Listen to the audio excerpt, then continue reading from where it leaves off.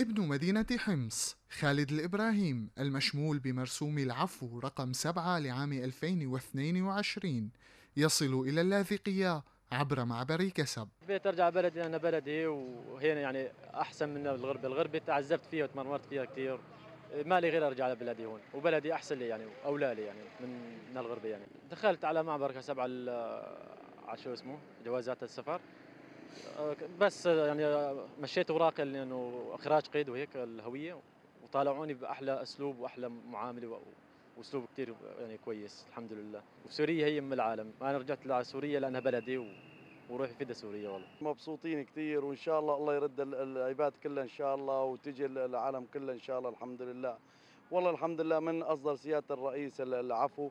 فورا الحمد لله كل الشباب اجت الحمد لله وفي كثير عالم هلا بالمعبر كله جاي الحمد لله رب العالمين. وفورا قلنا لهم فورا احملوا حالكم وتعالوا وعايشين هون الحمد لله بالبلد ومبسوطين.